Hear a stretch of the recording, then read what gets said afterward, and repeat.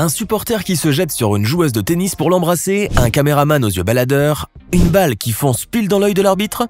Installez-vous confortablement et préparez-vous à voir les 12 moments les plus inappropriés dans le sport. Il semblerait que le footballeur Pierre-Emerick Aubameyang ne soit pas aussi habile avec ses mains qu'avec ses pieds. Le Gabonais qui fut adroit devant un but avec un doublé pour la victoire d'Arsenal en finale de FA Cup contre Chelsea a fait renverser la coupe juste au moment de la soulever, alors qu'il devait fêter sa victoire avec l'ensemble de ses équipiers comme le veut la tradition. En effet, alors qu'on lui a confié la lourde tâche de soulever le trophée, l'ancien joueur de Dortmund et Saint-Étienne a fait tomber le Graal après avoir peiné à s'en saisir, et ce devant les yeux désespérés de ses coéquipiers. Heureusement, il n'eut aucune casse, mais la scène a fait rire l'assemblée, avec quelques joueurs qui se sont pris la tête entre les mains de stupéfaction, comme David Luiz. En regardant les images, quelque chose me dit que cette petite bourde commise par le capitaine des Gunners était visiblement planifiée. Quoi qu'il en soit, celle-ci a fait son effet, sans provoquer la moindre écorchure au trophée, c'est l'essentiel. Qu'est-ce qui peut déstabiliser un joueur de basketball juste avant de marquer son panier? Hmm, Voyons voir. Un enfant qui crie? Une femme qui s'évanouit? En tout cas, un fan, lui, a trouvé une tactique, bien qu'elle n'ait malheureusement, ou heureusement pour Jackie Manuel, pas fonctionné. En 2003, lors d'un match de basketball, un fan a décidé de se déshabiller dans les tribunes et de faire le guignol pile en face du joueur Jackie Manuel, alors qu'il s'apprêtait à marquer son panier. Mais il en fallait beaucoup plus pour déstabiliser le joueur qui, bien déterminé à marquer son panier, a fini par l'inscrire grâce à son inébranlable concentration. En tout cas, la scène est absolument hilarante, bien que très inappropriée pour un moment aussi important que celui-ci. Et au fait, si cette vidéo vous plaît, n'oubliez pas de mettre un pouce bleu, de vous abonner à la chaîne et d'activer la cloche pour recevoir toutes les notifications et ne rien manquer de nos prochains contenus. On reprend. Il y a différentes manières de célébrer les victoires en sport. Un grand câlin groupé avec ses coéquipiers, un sprint d'un bout de terrain à l'autre ou encore une petite danse de la joie comme celle que vous allez voir. Sauf que celle-ci a très mal fini. Un samedi soir à Las Vegas, l'UFC présentait un combat opposant le Brésilien Johnny Walker et le Russe Misha Sirkunov. Celui-ci s'est terminé par la victoire du Brésilien. Les deux joueurs avaient offert au public un combat spectaculaire qui a notamment valu à Johnny Walker un bonus de performance pour la soirée. Cependant, le joueur de 28 ans devra désormais apprendre à contrôler ses émotions et à gérer ses excès de joie, puisqu'au moment de célébrer sa victoire contre Sirkunov, le combattant de la MMA a décidé de faire un salut à la foule avant d'entreprendre sa fameuse danse du ver de terre. Et le moins que l'on puisse dire, c'est qu'il a mal calculé son coup. Car au moment de se laisser tomber par terre, Walker s'est disloqué l'épaule gauche et s'est condamné à une suspension de 4 semaines. Aïe, je n'aurais pas aimé être à sa place. En tout cas, 4 semaines de convalescence étaient suffisantes pour lui pour prendre quelques cours de danse et améliorer ses pas. La prochaine fois, il dansera la valse avec son rival pour fêter sa victoire. Moins sportif certes, mais aussi moins risqué. Qu'y a-t-il de pire pour un joueur de football que de perdre son match? Réponse Se prendre violemment le poteau du but dans l'entrejambe. Croyez-moi, ça fait encore plus mal. Il y a 22 ans, le 4 octobre 1998, lors d'un match de football opposant Liverpool et Chelsea à Anfield, l'ex-star de Liverpool, Phil Babb, a fait grimacer le pays, en l'occurrence la population masculine, après que le joueur ait fait une glissade assez douloureuse. En effet, en pleine course pour le but, l'ancien international de la République d'Irlande a été chargé de retourner vers la surface pour arrêter la tentative de but de Perluigi Casigari. Le défenseur a alors tenté un tacle et a glissé à la dernière minute pour atterrir brutalement sur le poteau du but, pile sur ses parties intimes. Un moment extrêmement douloureux qu'a vécu Bab, qui s'est aussitôt retourné face contre terre attendant que les secours viennent le soulager. On raconte qu'aujourd'hui encore, le joueur ne s'en est toujours pas remis. Lorsque l'on est un athlète de grande renommée, que les caméras du monde entier sont pointées sur vous pendant un match, il faut avoir ce qu'on appelle la maîtrise de soi. Mais contrôler ses nerfs et ses excès de colère n'est malheureusement pas donné à tout le monde. Et ce n'est pas Denis Chapovalov qui vous dira le contraire. À Ottawa, lors du simple décisif de la rencontre Canada-Grande-Bretagne qui l'opposait à Cal Edmund, le Canadien Denis Chapovalov s'est laissé submerger par un excès de colère après avoir perdu un point, alors que le jeu était mené 6-3, 6-4, 3-1. Emporté par un excès de rage, le tennisman a frappé de dépit et involontairement la balle perdue qui a foncé pile dans l'œil gauche de l'arbitre français Arnaud Gabas. Le tennisman, âgé de 17 ans à l'époque, a bien sûr présenté ses excuses après cet incident qui a valu à son équipe une élimination de la Coupe Davis. Quant à l'arbitre, il a été conduit à l'hôpital pour se soumettre à des examens qui n'ont décelé aucune lésion.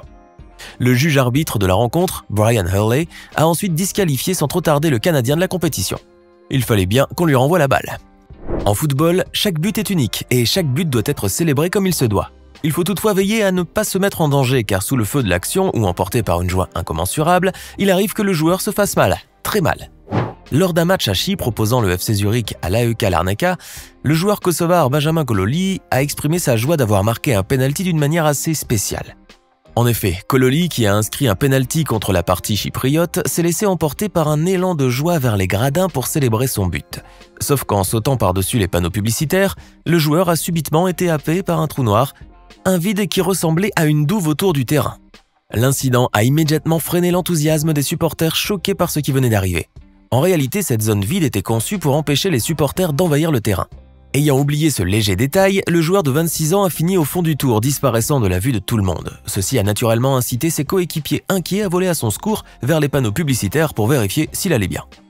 Quelques secondes plus tard, l'international kosovar est sorti du fossé d'un seul tenant, au grand soulagement de tous. Il a également pu continuer le match du groupe A qui s'est terminé 1-0 à Zurich. Finalement, on aurait préféré qu'il fasse la danse du verre, il aurait sûrement eu moins mal.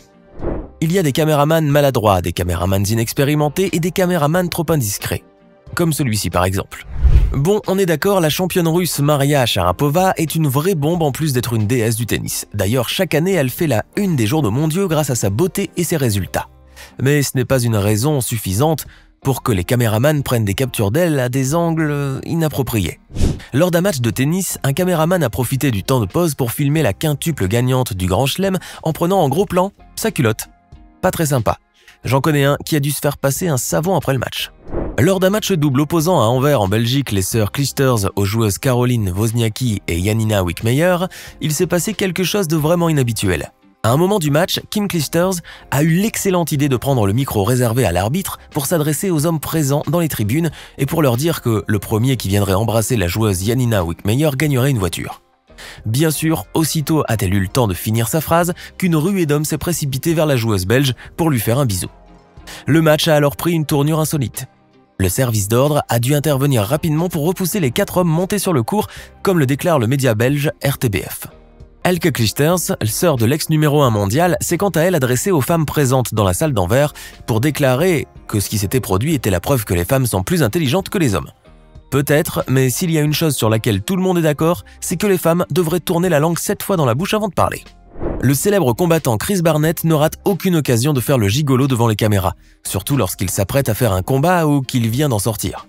Faire des poses à la King Kong, des grimaces, des danses acrobatiques bizarres, pour Chris Barnett, tout est bon pour faire rire et amuser son public, même lorsque le moment ne s'y prête pas. Puisque nous avons parlé des différentes manières avec lesquelles les sportifs exprimaient leur joie à l'inscription d'un but ou d'un point, voyons à présent comment les supporters s'y prennent. Et ce n'est pas mieux non plus. La femme que vous voyez là sur ces gradins est une grande fan de son équipe de hockey. Elle l'est tellement que rien ne l'arrête, surtout lorsqu'il s'agit de lui témoigner son soutien. Pendant un match de hockey sur glace, cette jeune femme a profité du fait que la caméra soit pointée vers elle pour se mettre à se déshabiller, enlevant un à un ses vêtements. Bon, rassurez-vous, elle s'est arrêtée au soutien-gorge, heureusement. Pas très ok dans sa tête, la nana. Nous ignorons la raison pour laquelle elle a fait cela, si c'est un excès de joie, si elle était légèrement éméchée ou si elle l'a fait pour attirer toute l'attention sur elle. En tout cas, le match de hockey aurait pu très mal finir, si vous voyez ce que je veux dire. Et puisqu'on est toujours dans la rubrique fan déjanté, voici une autre séquence où un supporter a totalement perdu les pédales. Pendant un match de football américain, un joueur a lancé la balle un peu trop loin dans le terrain et celle-ci a atterri près des gradins. Elle s'en est tellement approchée que l'un des supporters a failli la rattraper, sauf que l'homme a été devancé par un joueur de l'équipe. Ne supportant pas le fait de l'avoir manqué, le fan a alors saisi le joueur par le cou et l'a secoué très violemment. Il y en a qui ne manquent vraiment pas d'air.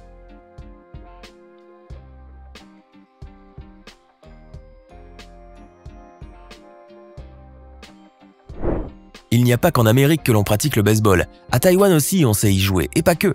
Dans le pays, il y a de bons joueurs et surtout de jolies pom-pom girls qui font la fierté des équipes. Au Japon, en Corée du Sud, à Taïwan et partout en Asie, le baseball est une discipline très populaire qui a ses propres stars nationales. Et les équipes ont même leur team de pom-pom girls qui viennent les soutenir à chacun de leurs matchs. Récemment, une pom-pom girl est devenue la star du web et du baseball au même titre que les joueurs, attirant l'attention des spectateurs. Il s'agit de la belle et très mignonne Kun Kun.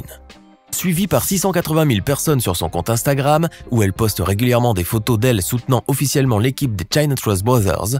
Qu'il pleuve, qu'il neige ou qu'il vente, la jeune femme au visage d'enfant se tient toujours présente à son poste, toute pimpante avec ses amis, pour encourager les joueurs de son équipe. Comme le témoigne la vidéo où Kun Kun apparaît au centre, le cheerleading en Asie est quelque peu différent du cheerleading américain, où les pom-pom girls s'attellent souvent à des chorégraphies athlétiques et poussées. Au Japon comme à Taïwan, être une pom-pom girl consiste à faire des chorégraphies plus sobres, moins recherchées et plus mignonnes que techniques. Les pom-pom girls sont perçues comme des idoles et elles ont aussi leurs fans incontestés. Kun Kun est sans aucun doute la pom-pom girl la plus populaire de Taïwan. En plus d'être toujours présente pour performer lorsque son équipe joue, elle apparaît régulièrement à la télévision où elle est surnommée l'ange du stade. Alors, que pensez-vous de ces 12 moments les plus inappropriés dans le sport? Lequel vous a le plus fait rire? Dites-le nous dans les commentaires.